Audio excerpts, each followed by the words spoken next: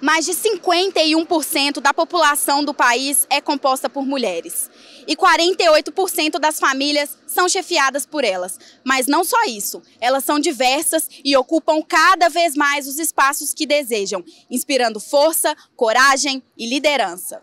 A minha mãe, com certeza, pela força dela, determinação de, com tantos problemas, conseguir resistir, né? Que eu acho que ela batalhou muito na vida dela para conseguir as coisas que ela tem e ela é meu maior exemplo para tudo que eu faço, que eu tenho que ter a aprovação dela, tenho que ter orgulho. Quero ser a pessoa que mais orgulha ela também. E é isso. Ela é a mulher que mais me inspira. Eu inspiro muito na minha irmã. A minha irmã, ela teve um problema de saúde muito forte e eu participei do, do tratamento dela, vi, né, ela quase morrer, sempre lutando para poder viver. E o que eu acho muito bonito nela, a inspiração dela, que eu sentia, o que fez ela sair daquilo ali tudo, enfrentar a doença, passar por tudo. Ela tá viva hoje porque ela queria ficar bem para poder cuidar do filho dela. Porque simplesmente ela é tudo para mim, né? Pessoa que eu inspiro, a pessoa que me deu a vida, né? Primeiramente Deus, segundo ela.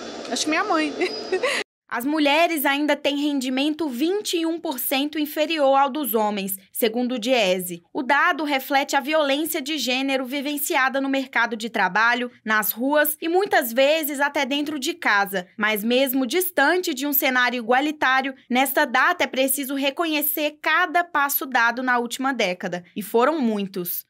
Segundo o Sebrae, atualmente mais de 10 milhões de empreendimentos no Brasil estão sob o comando de mulheres. Elas dominam mais da metade das vagas de mestrado e doutorado no país e são maioria responsável por estudos em sete áreas do conhecimento, entre elas a neurociência, imunologia e farmacologia. Nas últimas eleições, um marco: a conquista da maior bancada feminina já vista no Senado, com participação de 18%. O número é tímido, causa revolta pelo não cumprimento da lei de cotas de gênero, que estabelece que no mínimo 30% das cadeiras devem ser destinadas a elas. Mas mesmo assim é uma conquista histórica e está só começando. E neste dia, a pergunta que fica é: qual mulher te inspira? Não esqueça de falar para ela sempre que puder.